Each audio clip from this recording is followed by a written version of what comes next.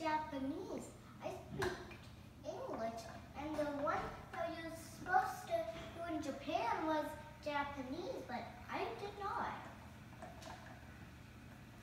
And I did, um, I did, um, um, I did English. So, so we moved to the United States. So you moved to the United States because you only spoke English? Mm-hmm. Did you speak English when you were in Japan? Mm-hmm. You did. What kind of English words did you speak when you were in Japan? Ah.